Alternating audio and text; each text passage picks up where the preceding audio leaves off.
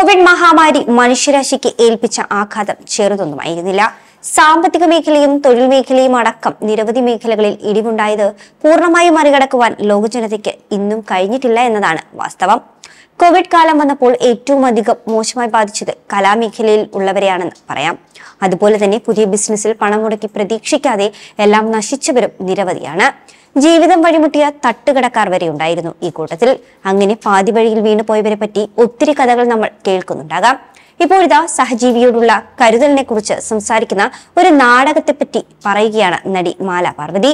ജീവിതത്തിൽ നമ്മൾ കണ്ട എത്രയോ പേരുടെ മുഖം മനസ്സിലൂടെ കടന്നുപോയെന്നും അതിലെ ഓരോ നിമിഷങ്ങളും മനസ്സിൽ നിന്നും മായുന്നില്ല എന്നുമാണ് സോഷ്യൽ മീഡിയയിൽ എഴുതിയിരിക്കുന്ന ഒരു കുറിപ്പിലൂടെ നടി പങ്കുവച്ചിരിക്കുന്നത്. പറന്നു പോകുന്ന പക്ഷിക്കും ചുറ്റുമുള്ള മനുഷ്യർക്കും ഭക്ഷണം കൊടുക്കുവാൻ ആഗ്രഹിക്കുന്ന അതും നല്ല സ്വാദുള്ള ഭക്ഷണം ഉണ്ടാക്കി നൽകുവാൻ ഇഷ്ടമുള്ള രണ്ടുപേരാണ് വാമുവും മാളുവും. ആ ഇഷ്ടം അവർ ജീവിക്കാൻ ഒരു വഴിയാക്കി മാറ്റി മാറ്റുവാൻ തീരുമാനിക്കുന്നു.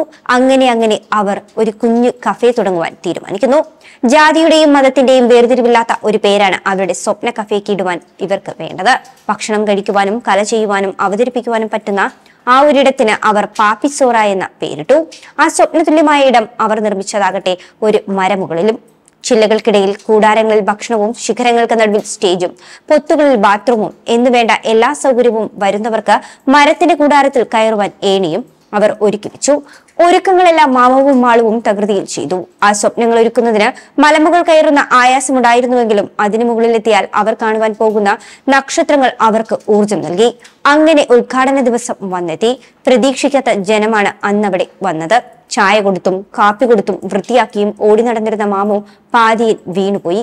മാളു അവനെ ഉണർത്തുവാൻ നോക്കുന്നുണ്ട്. സമാധാനിപ്പിക്കുവാനും നമുക്ക് പറ്റും. ഇല്ലെങ്കിൽ നമുക്ക് വീണ്ടും തുടങ്ങാമെന്നൊക്കെ ആ ഉണർത്താനുള്ള ശ്രമത്തിനിടയിൽ മാളു കാണികളോടും പറയുന്നുണ്ട്. ഞങ്ങളെപ്പോലെ ഒരുപാട് പേരുണ്ട്. പാതിയിൽ വീണു പോകുന്നവർ നിങ്ങൾ ഞങ്ങളെയും ഓർക്കണേ. ചേർത്ത് പിടിക്കണേ എന്ന്. ഇറ്റ്ഫോക്കിൽ തൃശൂർ ടൗൺ ഹാളിൽ നടന്ന നാടകം കണ്ണും മനസ്സും നിറയ്ക്കുകയുണ്ടായി. പ്രധാന വേഷം ചെയ്ത മാമോവിന്റെയും മാളുവിന്റെയും പ്രകടനം മനസ്സിൽ നിന്ന് മായില്ല. അലിയാർ അലി സംവിധാനം ചെയ്ത അറ്റ് പാപ്പിസോറ എന്ന നാടകം ഇരുപത്തിയഞ്ച് വേദികൾ പിന്നിട്ടു. ഇരുപത്തിയഞ്ച് വേദികളിലും വ്യത്യസ്ത ക്ലൈമാക്സുകളായിരുന്നു എന്നതാണ് ഈ ഒരു നാടകത്തിന്റെ ആരാധകർ പറയുന്നത്. ഇന്നത്തെ അവതരണത്തിന് ക്ലൈമാക്സ് ഉണ്ടായിരുന്നതേയില്ല ക്ലൈമാക്സ് സംഭവിച്ചത് കാണിയുടെ ഹൃദയത്തിലാണ്. സഹജീവിയോടുള്ള കരുതലിനെ കുറിച്ച് നാടകം സംസാരിച്ചപ്പോൾ ജീവിതത്തിൽ നമ്മൾ കണ്ട എത്രയോ പേരുടെ മുഖം മനസ്സിലൂടെ കടന്നുപോയി കടന്നു പോകുന്നു കോവിഡ് കാലം വരുമെന്നറിയാതെ ബിസിനസ്സിൽ പണം മുടക്കി അപ്രതീക്ഷിതമായി എല്ലാം നശിച്ചവർ. അങ്ങനെ തകർന്നു പോയവർ തൊട്ട് ഹൈവേയും മെട്രോയും ഒക്കെ വരുമ്പോൾ ജീവിതം വഴിമുട്ടുന്ന തട്ടുകടക്കാർ വരെ. നന്ദി പാപ്പിസോറ എന്ന് പറഞ്ഞുകൊണ്ടാണ് നടി മാല പാർവതി ഈയൊരു ഹൃദ്യമായ കുറിപ്പ് അവസാനിപ്പിക്കുന്നത്. കൂടുതൽ വാർത്തകൾക്കായി ബി ഫോർ ബ്ലേസ് ഫോളോ ചെയ്യൂ സബ്സ്ക്രൈബ് ചെയ്യൂ.